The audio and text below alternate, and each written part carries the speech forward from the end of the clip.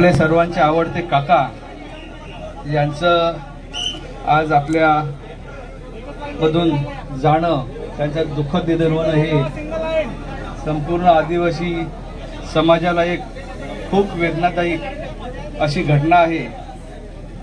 आणि काका म्हणजे समाज आणि समाज म्हणजे काका.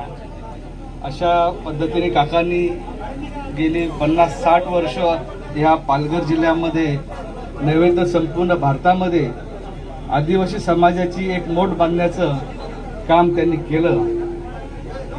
आणि या आदिवासी समाजावर होणारे अन्याय अत्याचार त्यांना वाचा फोडली. आजची परिस्थिती आपण पन्नास वर्षापूर्वी जर अनुभवली तर तेव्हा दळणवळणाच्या सुविधा नव्हत्या. अनेक सुख सोयी नव्हते. अनेक कायदे पायमल्ली तुडवले जात होते. अशा परिस्थितीमध्ये काकांनी भूमिसेनेच्या माध्यमातून एक संघटन तयार केलं आणि हमारे गाव में हमारा राज अशी एक हाक देऊन एक संपूर्ण या विभागामध्ये एक मोठं आंदोलन तयार करून एक समाजाला न्याय देण्याची भूमिका केली. त्यावेळचे बडे धडधांडगे असतील पोलीस यंत्रणा असतील त्याचे समाजावर आदिवासी समाजावर अन्याय करणारी जी मंडळी होती त्यांच्या विरोधामध्ये त्यांनी मोठा लढा उभारला. मग तो शेतकरी असेल शेतकरी मजूर असेल कामगार असेल किंवा कुठल्याही पीडित असलेला जो आदिवासी समाज याच्या न्यायासाठी हक्कासाठी अधिकारासाठी या संपूर्ण यंत्रणेला बाद करून या समाजाची एक दिशा देण्याचं काम त्यांच्यावर अन्याय दूर करण्याचं काम काकांनी आपल्या जीवनामध्ये केलं.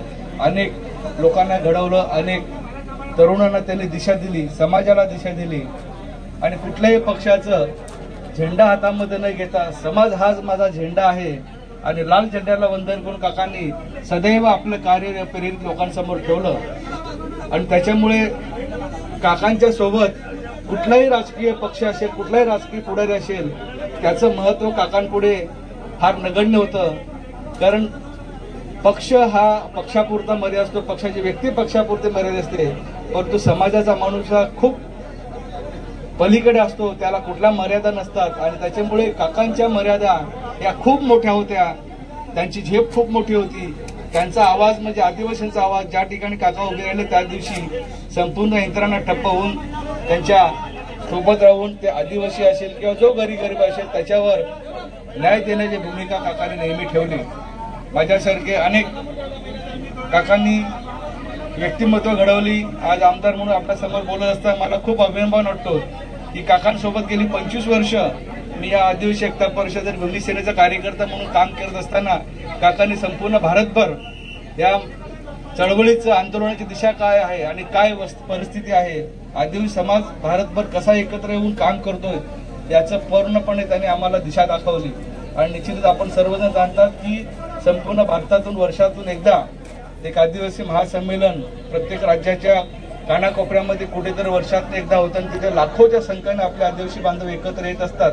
हे मोठं संघटन तयार करण्याचं काम काकांनी केलं. आणि आज काकांच्या जाण्याने आपला समाज पूर्ण आदर्शवत मार्गाने पुढे नेईल एवढंच मी आपल्याला या निमित्ताने सांगू शकतो.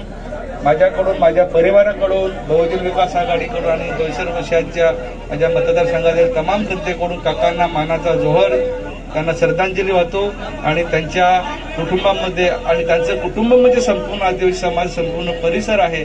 त्या सर्वांच्या दुःखामध्ये मी शोक व्यक्त करून थांबतो. जोहार.